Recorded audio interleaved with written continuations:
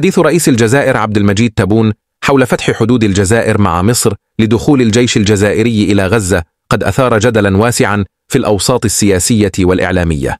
واعتبر البعض هذا التصريح مجرد خطاب استهلاكي شعبوي يأتي ضمن حملته الانتخابية بغرض جذب الدعم والتأييد من بعض الفئات الشعبية. تلك التصريحات التي تدور حول قضايا ساخنة مثل القضية الفلسطينية غالبا ما تكون جزءا من استراتيجيات السياسة الداخلية للقادة السياسيين حيث يسعون لاستغلال تلك القضايا لجذب الانتباه والتأييد.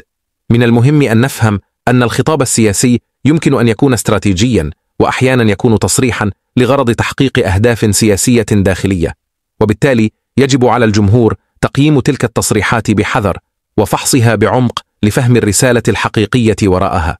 في النهاية يجب على القادة السياسيين أن يكونوا حذرين في استخدام التصريحات العلنية حول القضايا الحساسة وأن يكونوا صادقين ومسؤولين في تصرفاتهم وتصريحاتهم.